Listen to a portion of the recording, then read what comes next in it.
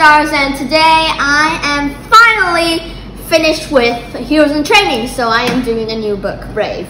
Now from the cover of the book it's about courage, right? But there's a lot more to it. And if you can really look by the length of the book, you can tell that I'm making one, more than one tape for this. So stay tuned for our Brave videos. Our, there's some Brave. It's a graphic novel it's a realistic fiction book and it's graphic novel. So it will you'll finish it shorter than you expect.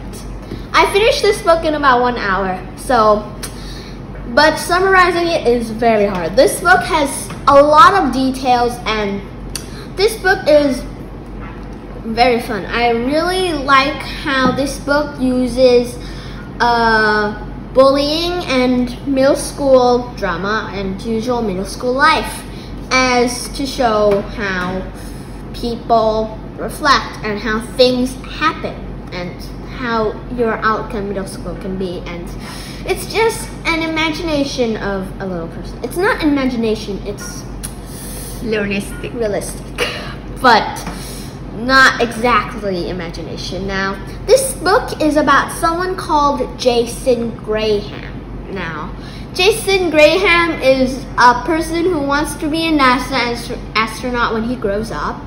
And he also has a zombie warning list sign in his pocket and a zombie survival guide. And he also has a protein bar and a Game Boy in his pocket.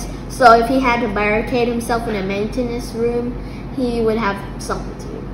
And Jensen was really like some people don't like to learn. Now, of course, uh, if you know me a lot, I really love learning. I mean, I think school is awesome. But he doesn't really like school because, I don't know. Well, math, in math, he starts out very behind. So he really was the guy who gives everyone homework. Mr. Christopher the math teacher was a person that really wants his class to elevate up. So, and he is sometimes, sometimes Jensen calls him evil.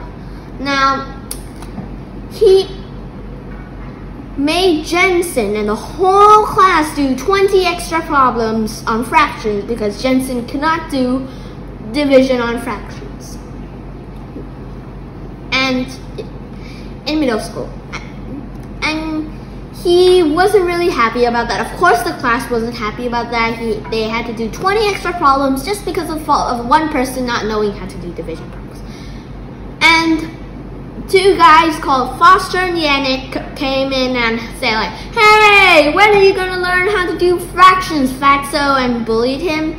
And he decided that he should just ignore them. And because his next class was English and he really liked the teacher, Miss Lee. And he thought he would do some fun things and he also had a nice friend there called Penelope, Penelope Torres. Now, he saw Penelope was sketching, so he thought he could sketch too, and he was sketching. And Miss Lee took attendance, and then everything was correct fine until Miss Lee told Jensen and Penelope to stop sketching. Now, Jensen also later described that he thought like the school, one day of school and one day of his life was like a video game. You gotta go through the game without being eaten by game monsters and doing some random punishments if you run into game monsters and stuff, which his punishments, what he meant was being bullied, being left out, doing extra homework, and other stuff. But he said he, if he finished the day anyways, he would get the prize at the end of the level, the art club, which he is very good in drawing.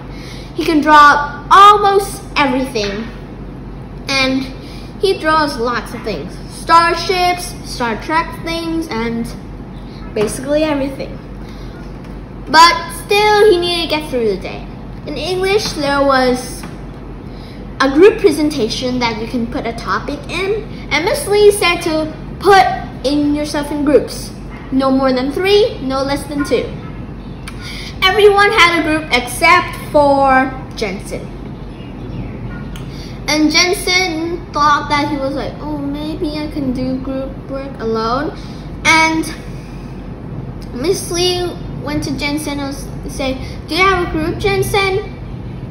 And after Jensen looked around, Miss Lee then said, Hey, who's got room for Jensen? And everyone's like, Oh, we already got three. Oh, our group's full. And then after that, Miss Lee said for one person to leave their group to be with Jensen for the group presentation. And then there was a person who did that. He said, I'll do it, Miss Lee. And his name was George. That's it. I hope you follow up the next Brave videos that might be coming up soon. Give a like, please subscribe, and catch you next video. Bye.